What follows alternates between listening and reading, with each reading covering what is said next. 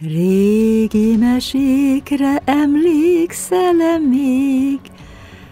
Volt egyszer rég, volt egyszer rég, Szép tavaszon ragyogott fenn az ég, Volt egyszer rég, egyszer rég. Ó, hogy miért nem mesélsz már nekem, Boldog idők, soha nem feledem, Hallani vélem a hangodat még, Volt egyszer rég, egyszer rég.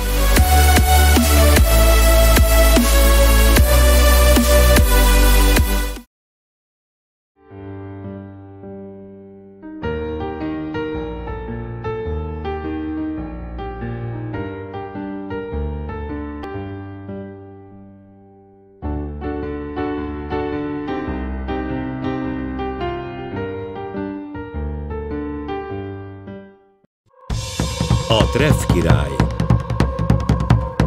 A valóság, jegyeztem meg, félrelökve a napi hírharangot, furcsább még a regényeknél is. Talán nem volt valami eredeti észrevétel, barátomat minden esetre felbőszítette. Tojásdat fejét félrebillentve a kisember gondosan lefricskázott, makulátlanul vasalt nadrágjáról egy képzeletbeli porszemet, és megszólalt. Milyen mélyen szántó megfigyelés. Az én Hastings barátom kész filozófus. Cseppet sem bosszankodva e felesleges gúnyolódáson, megkocogtattam ujjammal a félrelökött lapot. Olvasta a reggeli újságot? Olvastam, és miután elolvastam, szimmetrikusan összehajtogattam. Nem dobtam le a padlóra, mint maga, a sajnálatos rendetlenségével és módszertelenségével. Ez a legrosszabb poáróban, a rendszeretet és a módszeresség az istene. Azt állítja, minden sikerét ezeknek köszönheti. Akkor bizonyára látta azt a beszámolót Harry Redburn az impresszárió meggyilkolásáról. Ez váltotta ki a megjegyzésemet.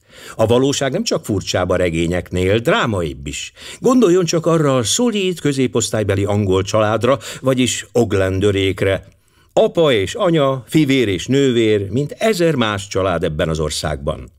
A család férfi tagjai naponta eljárnak a citybe, a nők pedig gondját viselik a háznak. Életük tökéletesen békés, teljesen egyhangú. Tegnap este ott ültek kis kertvárosi szalonjukban, a Street Amy Dizimidben és bridgeztek. Egyszer csak kivágódik a francia ablak, és egy nő támolyog be a szobába. Szürke szatér ruháján bíbor piros folt. Egyetlen szót kiált. Gyilkosság! És ájult a rogy le a padlóra. Lehetséges, hogy fényképeiről fel is ismerték benne Valerie St. Clair-t, a híres táncosnőt, aki nem régiben rohammal vette be Londont. Ez a maga ékes szólása volt, vagy a napi hírharangé? Érdeklődött Poirot. A napi hírharangnak labzártát kellett csinálnia, ezért beérte a csupasz tények ismertetésével, de bennem azonnal felötlöttek a történet drámai lehetőségei. Poirot elgondolkodva bólintott. Az emberi természet már csak együtt jár a drámával, de a dráma nem mindig ott rejlik, ahol hinné. Ezt ne feledje. Egyébként engem is érdekel az eset, ugyanis valószínűleg közöm lesz hozzá. Csak nem, de igen, reggel felhívott egy úr, és időpontot kért tőlem a maurániai Pál herceg számára. Neki mi köze ehhez? Nem olvassa Hastings a maguk elbűvölő angol plegykalapjait, amelyekben olyan mulatságos kis sztorik jelennek meg. Azt csiripelik a verebek, egy kis madár arra volna kíváncsi. Itt van, tessék. Követtem kurta, vaskos ujját a cikken. Vajon tényleg vonzódik-e egymáshoz a külhoni herceg és a híres táncosnő? És vajon tetszik-e a hölgynek az új gyémángyűrűje? És most nézzük tovább a maga drámai beszámolóját, mondta Poirot. Mademoiselle Saint Clair épp az imént ájult el Dizzy Mead szalonjának szőnyegén, emlékszik? Vállat vontam. Mademoiselle első elsuttogott szavaira, amikor magához tért, a két oglendőr férfi kisietett a házból, az egyik orvosért, hogy megvizsgálja a hölgyet, aki még mindig szörnyű sokkos állapotban volt, a másik pedig a rendőrőrsre, ahonnan, miután előadta történetét, elkísérte a rendőrséget Mondésírbe, Mr. Ridburn pompás villájába, amely nem messze áll Daisy Mead-től és ott találták a nagy embert, akinek egyébként nem valami jó a híre, a könyvtárszobában heverve, feje szétrepett, mint egy tojáshéj. Úgy látszik, kissé görcsöt kapott miattam a stílusa, mondta jóságosan Poirot. Kérem, bocsásson meg. Á, itt is van Le Prince. Előkelő vendégünket Feodor grófként jelentették be. Különös külsejű ifjú volt, magas, zaklatott, csapott álló, a híres Moramberg szájjal, sötét szemében a fanatikusok tüze lobogott. Monsieur Poirot? Barátom meghajolt. Monsieur, rettenetes bajban vagyok, nagyobban, mint sem kifejezhetném. Poirot széles kézmozdulatot tett. Megértem aggodalmát. Mademoiselle Saint Clair igen jó barátja önnek, nem de? A herceg egyszerűen felelt. Remélem, hamarosan feleségül jön hozzám. Poáró kiegyenesedett székében, szeme elkerekedett. A herceg folytatta. Nem én leszek az első a családban, aki morganatikus házasságot köt. Fivérem Alexander is szembeszállt az uralkodóval. Felvilágosult időket élünk, megszabadultunk a régi osztály előítéletektől. Azon kívül Mademoiselle Saint Clair, ami azt illeti, éppenséggel rangon béri. Talán hallott már célzásokat a származásáról. Sok romantikus történet kering róla, ami híres táncos nők esetében nem ritkaság. Hallottam azt is, hogy egy ír takarítónő lánya, egy másik beszámoló szerint viszont egy orosz nagyhercegnő az anyja. Az első verzió természetesen ostobaság, mondta a fiatalember. De a második igaz? Valeri, noha titoktartás köti, sejtette ezt velem. Azon kívül öntudatlanul is ezerféle módon tanújelét adja. Én hiszek az öröklődésben, Monsieur Poirot. Én is hiszek az öröklődésben, mondta tűnődve Poirot. Sok furcsaságot láttam már ezzel kapcsolatban. Moi qui vous parle. De térjünk a lényegre, Monsieur Le Prince. Mit kíván tőlem? Mitől fél? Ugye nyíltan beszélhetek? Van valami, ami összekapcsolja Mademoiselle Saint Clair-t ezzel a bünténnyel? Ridburn persze ismerte, nem de? Igen, a fickó azt állította, hogy szerelmes belé. És a hölgy? Tudomást sem vett róla. Poáró kutatóan nézett rá. Volt oka félni tőle? A fiatalember habozott. Sor került egy furcsa közjátékra. Ismeri Zarát, a jósnőt? Nem. Csodás teremtés. Találkoznia kell vele egyszer. Valeri és én a múlt héten voltunk nála. Bajt jövendőlt Valerinek gyülekező felhőket, majd megfordította az utolsó kártyát, a fedőlapot, ahogy nevezik, a treff király volt. Azt mondta Valerinek, óvakodjék, egy férfi a hatalmában tartja. Maga fél tőle, és nagy veszély fenyegeti általa. Tudja, mire gondolok? Valerinek még a szája is elfehéredett. Bólintott, és azt felelte. Igen, igen, tudom. Nem sokkal később távoztunk. Zará utolsó szavai Valerihez ezek voltak. Óvakodjék a treff királytól, veszedelem fenyegeti. Kérdőre vontam Valerit, semmit sem árult el. Biztosított, hogy minden rendben van. De tegnap este óta meggyőződésem, hogy a treff királyban Ridburnt látta Valeri, és tőle félt. A herceg hirtelen elhallgatott. Most már érti, mennyire felzaklatott, amikor ma reggel kinyitottam az újságot. A netán Valeri egy beszámíthatatlan pillanatában. De hát ez lehetetlen. Poirot felállt, és jóságosan megveregette a fiatalember vállát. Ne gyötörje magát, nagyon kérem. Bízza csak rám a dolgot. Kimegy Streeténbe? Úgy látszik, még mindig ott van Dizzy Meadben. A megrázkódtatás ágynak döntötte. Már is indulok. Intézkedtem a követségen keresztül, önnek szabad bejárása lesz mindenhová. Haladéktalanul útra kelünk. Ugye elkísér Hastings? Au revoir, Monsieur le Prince. Mondésir kivételesen pompás villa volt, modern és kényelmes. Rövid kocsibehajtó vezetett hozzá az útról, és több holdnyi gyönyörű kert húzódott mögötte. Miután megemlítettük Pál herceg nevét, a komornyik, aki ajtót nyitott, rögtön a tragédia helyszínére vezetett bennünket. A könyvtárterem lenyűgöző helyiség volt, az egész épület hosszán végignyúlt, mindkét végén ablakkal. Egyik a homlokzati behajtóra, másik a kertre nyílt. Ez utóbbi fülkéjében hevert a holtest. Nemrég szállították el, miután a rendőrség befejezte a szemlét. Ez bosszantó, súgtam oda poárónak. Ki tudja, milyen nyomokat semmisítettek meg véletlenül. Kis barátom elmosolyodott. Hányszor mondjam még, hogy a nyomok belülről jönnek. A kis szürkes helytekben van minden rejtély nyitja. Azzal a komornyikhoz fordult. Gondolom a tetem eltávolításán kívül semmihez sem nyúltak a szobában. Nem, uram, minden úgy van, ahogyan a rendőrség találta tegnap este. Ez a függöny például, látom, teljesen át lehet húzni az ablakfülke előtt, akár csak a másik ablaknál. Tegnap este be voltak húzva? Igen, uram, minden este behúzom őket. Ez esetben Ridbörnek kellett elhúznia mindkettőt. Feltételezem, uram. Tudta, hogy a gazdája vendéget várt tegnap este? Nem mondta, uram, de megparancsolta, hogy vacsora után ne zavarjuk. Mint látja, uram, egy ajtó nyílik a könyvtárból a teraszra a ház oldalán, azon bárkit beengedhetett. Elő szokott fordulni ilyesmi? A komornyik diszkréten köhintett. Úgy vélem, igen, uram. Poáró odament a szóban forgó ajtóhoz. Nem volt zárva. Kilépett rajta a teraszra, amely jobb felé a behajtóhoz csatlakozott, balra pedig egy vörös téglafalhoz vezetett.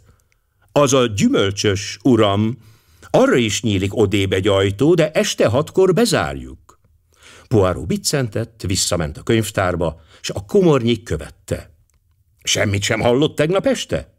Nos, uram, hallottunk hangokat a könyvtárból valamivel kilenc előtt, de ez nem volt szokatlan, főleg mivel női hang volt. Persze, amint átmentünk az alkalmazottak ebédlőjébe, a ház túlsó oldalára, onnan már nem hallottunk semmit.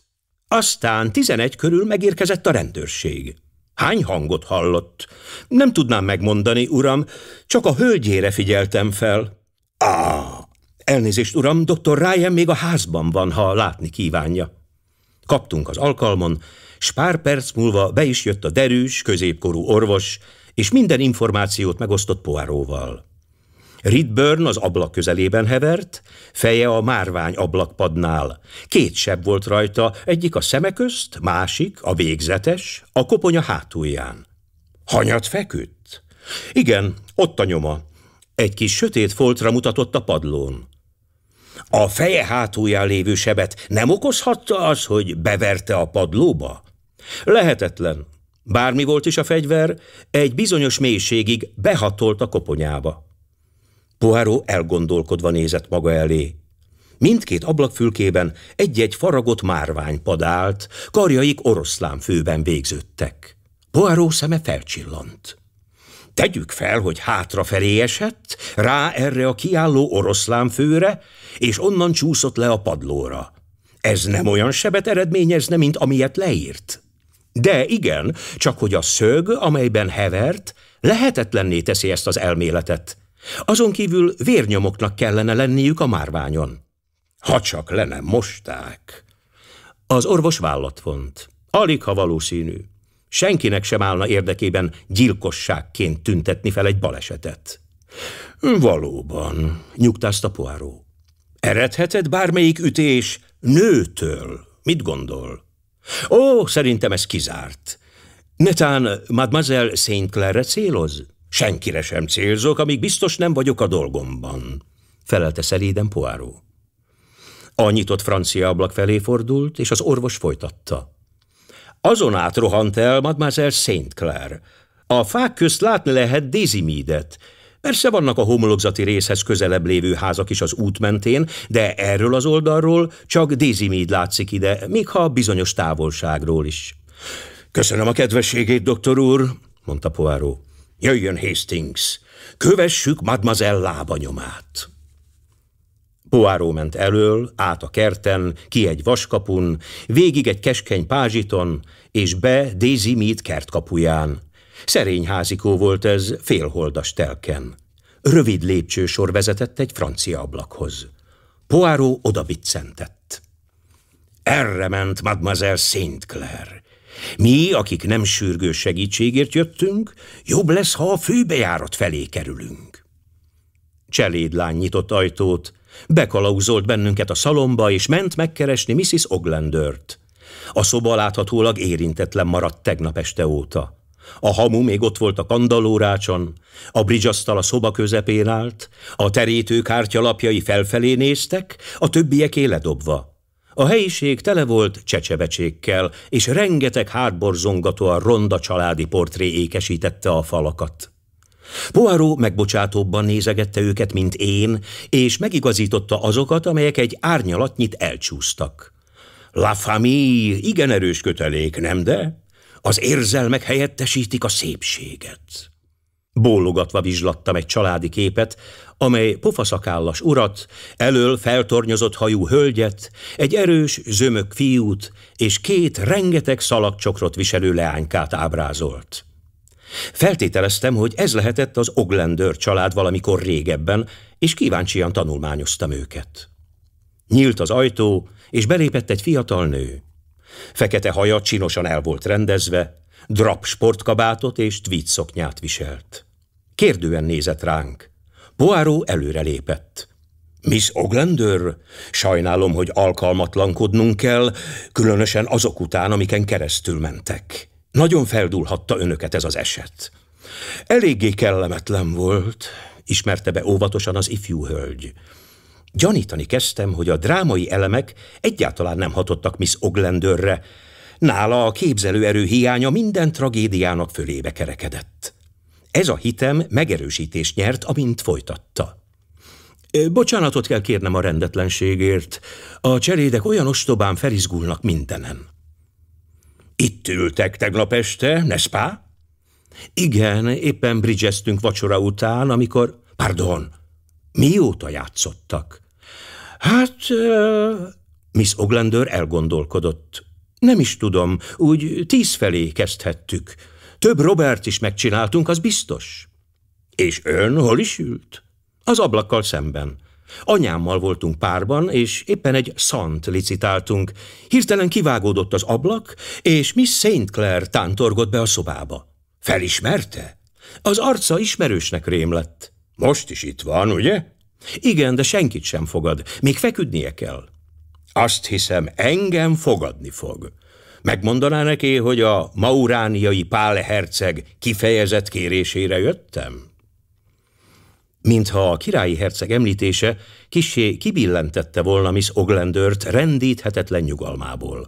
Ám minden további megjegyzés nélkül távozott, és szinte azonnal visszajött mondván, Mademoiselle Saint Clair kész fogadni bennünket szobájában. Követtük a lépcsőn egy tágas, tiszta hálószobába. Az ablak melletti kanapén fekvő hölgy felénk fordította fejét, amikor beléptünk. Rögtön felfigyeltem a két nő közötti ellentétre, annál inkább, mert vonásaik és színeik amúgy egészen hasonlók voltak, s mégis micsoda különbség. Valerie St. Clair minden pillantásában, minden mozdulatában dráma feszült. Skarlátpiros flanelköntös borította a lábát, egyszerű házi ruhadarab, de személyiségének varázsa olyan egzotikus ízt kölcsönzött neki, mintha valami színekben tobzódó keleti palást volna. Nagy sötét szeme poáróra szegeződött. Pál küldte magát? Hangja illett a külsejéhez, telt volt és bágyat. Igen, mademoiselle, azért jöttem, hogy szolgálatára legyek, neki és önnek. Mire kíváncsi? Mindenre, ami tegnap este történt, mindenre. A hölgy fáradtan mosolygott. Gondolja, hogy hazudnék? Nem vagyok ostoba. Tudom jól, hogy nem lehet eltitkolni. Az az ember, a halott, birtokában volt egy titkomnak. Fenyegetőzött. Pál kedvéért megpróbáltam egyességre jutni vele.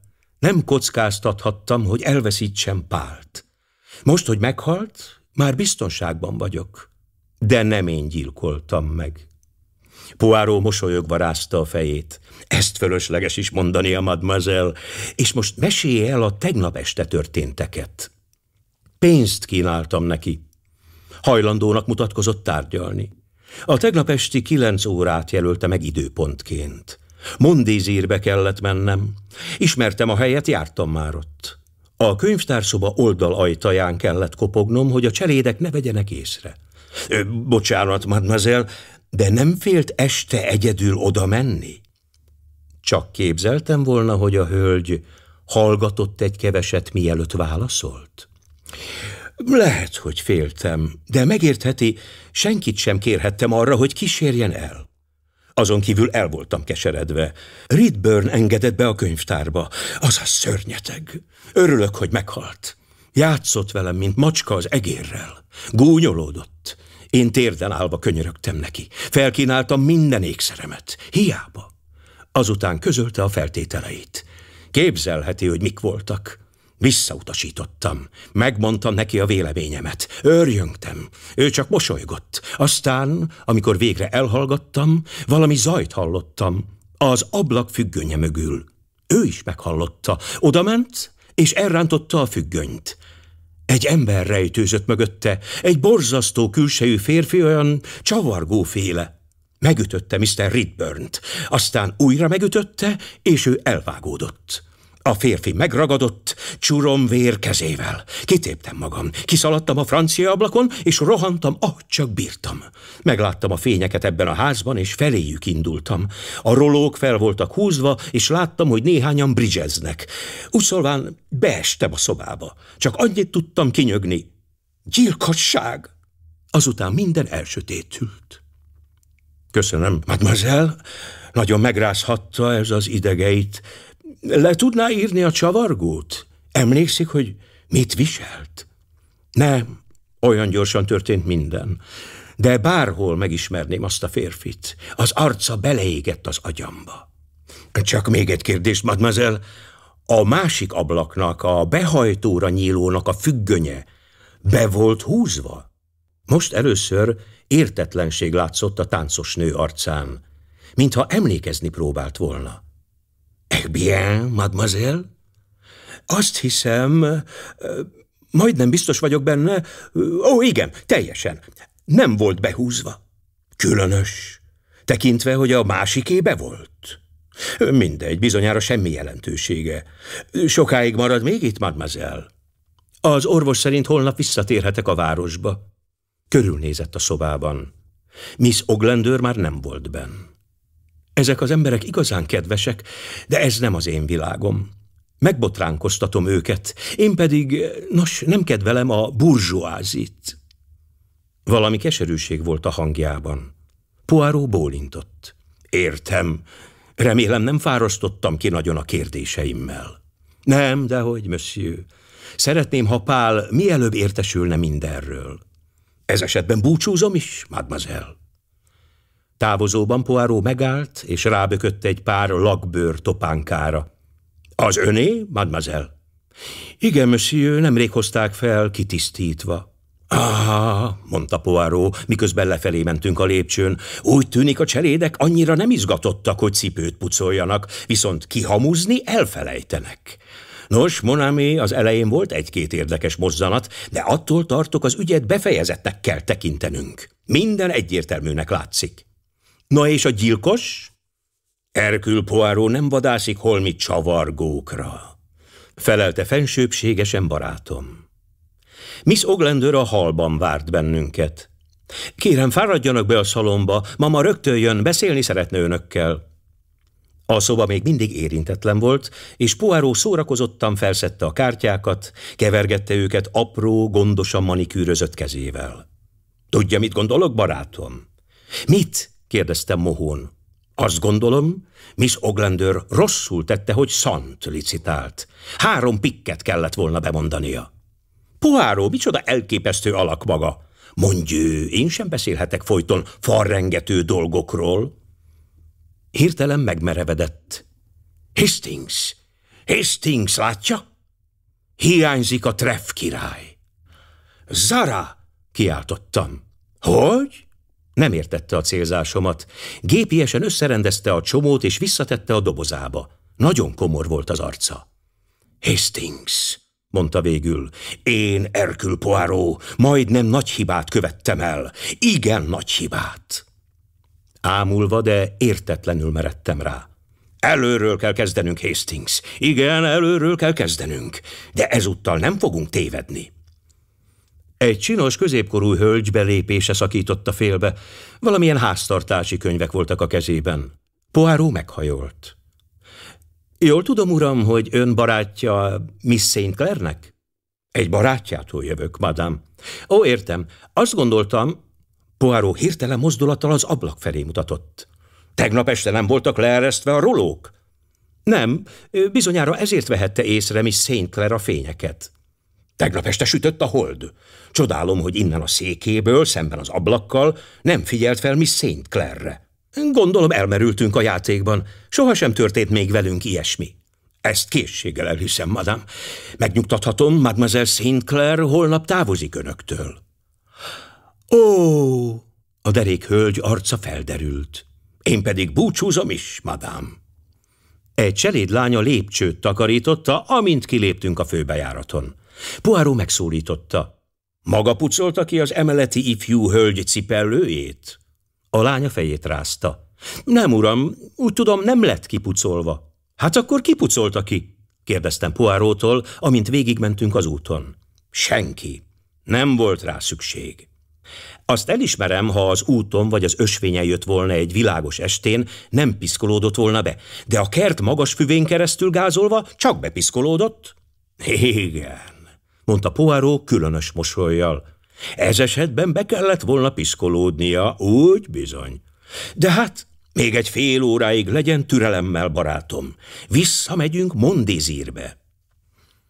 A komornyik meglepődött ismételt felbukkanásunkon, de nem volt kifogása ellene, hogy újból bemenjünk a könyvtárterembe. Hé, hey, nem az az ablak volt, az poáró! Kiáltottam, amint a kocsi behajtóra néző felé indult. Dehogy nem, barátom, nézze csak! Az oroszlán főre mutatott. Egy elszíneződött folt volt rajta. Aztán egy másik hasonló foltra mutatott a fényezett padlón. Valaki ököllel Ridburn szeme közé vágott. Hátra zuhant erre a kiálló márvány részre, majd lecsúszott a padlóra. Utána átvonszolták a padlón a másik ablakhoz, és lefektették, csak hogy nem pontosan olyan szögben. Ezt az orvos is tanúsította. De hát miért? Ez az egész olyan fölöslegesnek látszik. Ellenkezőleg. Nagyon fontos volt. És ez a kulcs a gyilkos kilétéhez is, akinek egyébként nem állt szándékában megölni Ridburnt, így hát alig ha jogos gyilkosnak neveznünk. Nagyon erős ember lehet. Mert végigvonszolta a tetemet a padlón? Nem csak azért. Nos, érdekes eset volt, bár kis hiány bolondot csináltam magamból. Azt akarja mondani, hogy vége, és maga már mindent tud? Igen. Felötlött bennem egy emlék. Nem, kiáltottam. Van valami, amit nem tud. És mi volna az? Nem tudja, hová lett a treff király. Hogy? Ó, ez mulatságos, nagyon mulatságos barátom. Miért? Mert itt van a zsebemben. Azzal előrántotta. Na hát, mondtam csalódottan, hol találta meg? Itt? Nincs ebben semmi szenzációs. Egyszerűen nem vették elő a többi lappal együtt. Végig benne maradt a dobozban. Ha, de azért ez ötletet adott magának, ugye? Igen, barátom, le a kalappal őfensége előtt. És Madame Zara előtt. Á, igen, a hölgy előtt is. És most mit csinálunk? Visszatérünk a városba. De előbb még váltanom kell pár szót egy bizonyos hölgyel Daisy Meadben. Ugyanaz a kis szolgáló nyitott ajtót. Ebédelnek, uram, ha csak nem Miss St. Keresik, de ő meg lepihent. Csak Mrs. Oglandert szeretném látni pár percre. Szólna neki? Bevezetett bennünket a szalomba. Közben egy pillantást vethettem az ebédlőben a családra, amely most kiegészült két megtermett, zömök férfival, egyik bajuszt viselt, másik szakált is. Néhány perc múlva belépett Mrs. Oglander, és kérdő tekintetet vetett Poáróra, aki meghajolt előtte. Madám, az én hazámban nagy tisztelettel viseltetünk az anyák iránt. A merdő famille, ő a legfontosabb. Mrs. Oglander igencsak meglepődött a szavak hallatán. Ezért jöttem vissza, hogy megnyugtassam egy anya lelkét. Mr. Ridburn gyilkosát nem fogják megtalálni. Cseppet se féljen. Én, Erkül Poirot mondom ezt önnek. Igazam van, ugye bár? Vagy netán, mint feleséget kellene megnyugtatnom? Csend lett. Mrs. Oglander Poirot fürkészte tekintetével. Végül halkan így szólt. Fogalmam sincs, honnan tudja. De igen, igaza van. Poirot komoran bólintott. Ez minden, madám, de ne aggódjék. Az önök angol rendőrségének nincs olyan jó szeme, mint Erkül Poirónak. Megkocogtatta körmével a családi portrét. Önnek volt egy másik lánya is. Meghalt, madám? Újabb csend, újabb fürkésző pillantás. Igen, meghalt, felelte végül Mrs. Oglander. Ah, mondta élénken Poirot. Nos, vissza kell térnünk a városba. Megengedi, hogy visszategyem a treff királyt a többi közé? Ez volt az egyetlen hibájuk. Ugyebár lehetetlen egy órán át bridgezni 51 lappal, legalábbis aki ismeri a játékot, egy percig sem hinné el ezt. Bonjour! És most, barátom, mondta Poirot, miközben az állomás felé igyekeztünk, végre mindent ért. Semmit sem értek. Ki ölte meg Ridburnt? Ifjabb John Oglander. Nem voltam biztos benne, vajon az apa vagy a fia tette, de úgy gondoltam inkább a fiú lehetett, mert ő az erősebb és fiatalabb. Kettejük közül kellett lennie valamelyiknek az ablak miatt. Miért? Négy kiárat van a könyvtárszobából, két ajtó, két ablak, de ezek közül nyilvánvalóan csak egy felelt meg. Három, közvetettem vagy közvetlenül, a homlokzatra nyílik. A tragédiának a hátsó ablaknál kellett történnie, hogy úgy tetszék, Valerie St. Clair véletlenül indult Dizzy Mead felé. Valójában persze elájult, és John Oglander a vállán cipelte át. Ezért mondtam, hogy erős embernek kellett lennie. Tehát együtt jöttek Mondézírbe? Igen. Emlékszik, mennyire elbizonytalanodott Valeri, amikor megkérdeztem, nem félte egyedül ide jönni? John Oglander vele volt, ami bizonyára nem javított Ridburn kedély állapotán. Összevesztek, és valami sértést követően Oglander megütötte. A többit már tudja. De miért a bridge? A bridge négy játékost feltételez.